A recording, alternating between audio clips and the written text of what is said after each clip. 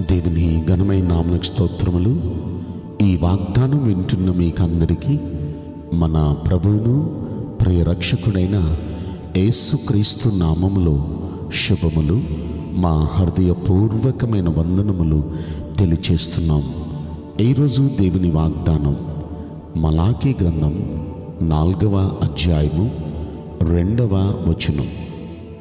నా నామమందు భయభక్తులు గలవారగు మీకు నీతి సూర్యుడు ఉదయించును.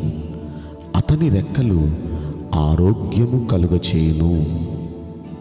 ప్రియ దైవ జనాంగమా ఈ మంచి వాగ్దానం వింటున్న మనందరి వినికిడిలో మంచి దేవుడు నెరవేర్చునుగాక. ఆమెన్. ఆయనకు భయపడుతూ భక్తి చేస్తున్న మనకు మన జీవితాల మీద నీతి సూర్యుడు ఉదయించబోతున్నాడు. ఆ నీతి సూర్యుని రెక్కలు మనకు ఆరోగ్యం కలుగజేస్తాయి. ఆ రెక్కల క్రింద ఉన్న మనం ఆరోగ్యంగా ఉంటాం. ఈ మాటలు మనం పరిశీలిస్తే దేవునికి భయపడుతూ భక్తి చేసే వారి జీవితాలపైన నీతి సూర్యుడైన యేసయ్య వారి జీవితాల మీద ఉదయిస్తూ వారికి ఆరోగ్యం ఇస్తూ ఉంటాడు.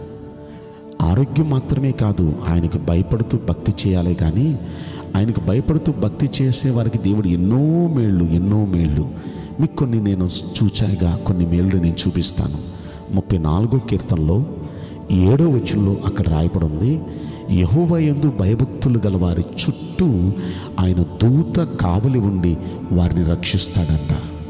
అంటే దేవునికి మనం భయపడుతూ భక్తి చేస్తే మన చుట్టూ దేవుడు తన దూతల్ని కావలి ఉంచి మనల్ని రక్షిస్తారు మనల్ని రక్షిస్తారు.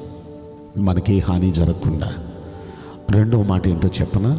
అదే ముప్పై నాలుగో కీర్తనలో తొమ్మిదో వచ్చులను అంటాడు ఆయన అందు భయభక్తులు ఉంచువానికి ఏమీ కొదువ ఉండదు. ఏ లోటు ఉండదు దేవునికి మనం భయపడుతూ భక్తి చేస్తే మనకి సమృద్ధి కొద్దు అనేది కనపడకుండా సమృద్ధిని దేవుడు అనుగ్రహిస్తాడండి. ఎంత గొప్ప సంగతి మాట. కనుక ఏది కొద్దు ఉండదు మూడో మాట చెప్తాను చూడండి. ముప్పై ఒకటో కీర్తనలో పంతొమ్మిది వచనంలో రాయబడి ఉంది నీ అందు భయభక్తులు గలవారి నిమిత్తం నీవు దాచి ఉంచిన మేలు ఎంతో గొప్పది అంటాడు. అంటే ఎవరైతే దేవునికి భయపడుతూ భక్తి చేస్తారో వారి కోసం దేవుడు దాచి ఉంచుతాడంట మేలు. ఆ మేలు ఎంతో గొప్ప మేలంట. ఎంతో గొప్ప మేలు వారి కోసం దాచి ఉంచుతాడు ఆయన ఎందు భయభక్తులు కలిగి ఉంటే. ఇప్పటికి మూడు మాటలు మీకు నేను చెప్పాను. దేవునికి భయపడుతూ భక్తి చేస్తే ఒకటి ఏమనుకున్నాం ఆయన మన చుట్టూ దేవుడు తన దూతలు కావలి ఉంచి రక్షిస్తాడని. రెండవది ఏది కుదవనదు సమృద్ధినిస్తాడని. మూడో మాట గొప్ప మేలులు మనకి దాచి ఉంచుతారని. నాలుగో మాట చెప్పిన నూట మూడో కీర్తనలో మనం పరిశీలిస్తే అక్కడ పదకొండవ వచనంలో ఒక మాట అంటాడు.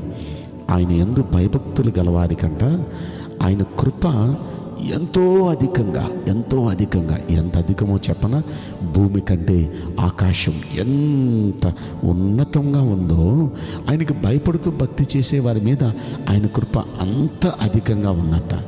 ఎంత అధికంగా చూడండి. నిజంగా దేవుని అందు భయభక్తులు కలిగిన వారికి ఎన్ని మేళ్ళండి ఎన్ని మేళ్ళు? ఇలా చెప్పాలి కానీ ఎన్నో ఎన్నో ఎన్నో మేళ్ళు.